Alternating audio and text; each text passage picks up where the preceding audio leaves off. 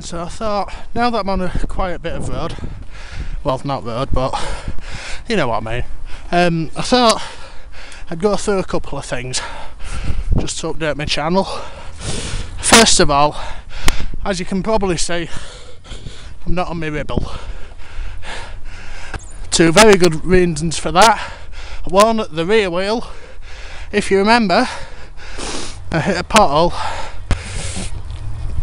Uh, been about two weeks ago now, and I thought I knocked my rear wheel out of true. As it happened, I completely destroyed it.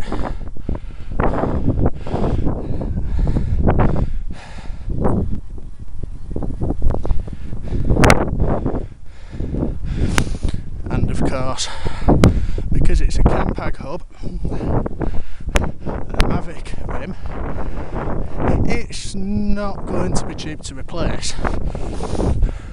I've had an estimate somewhere in the region of £150, which is not the sort of money I have.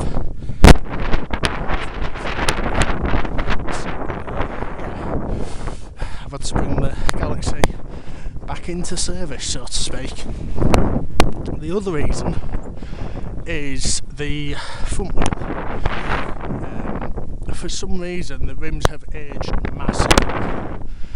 It's a bike that's no older than 2007 in make and and the rim looks about 10 years old, which Mavic never makes siren rims until a few years ago, so how that's worked out, I'm not entirely sure, but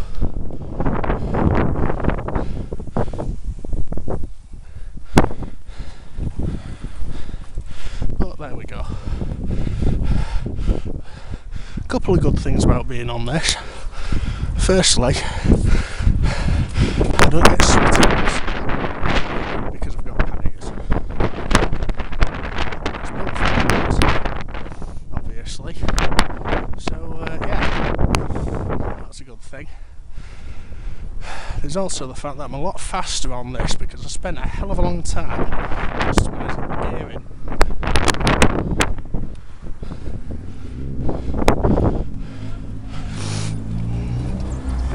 So uh, yeah, those are the good points. Bad points are because of the handlebars. Hello, because the handlebars are set up the way that they are. I'm a hell of a lot further into the road. Which was scary to start off with. I'm starting to get used to it. Now the two bad things, one the track pedals with clips, and the clips aren't exactly in best condition. Um, so yeah. It's a bit uncomfortable.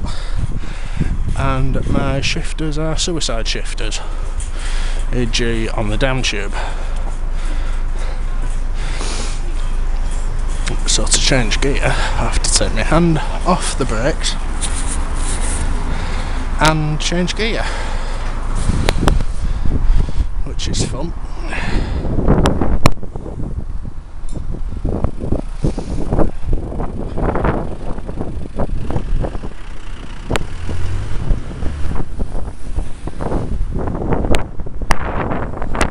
So yeah, those are all the updates so far. Oh, there is one more thing, as you can see. much of treaded tyres and my recycle computers working, so I can start updating my distances better. And the Marathon Pluses, so got a bit more grip than my Blizzards have, especially in the wet. So uh, yeah, that's it.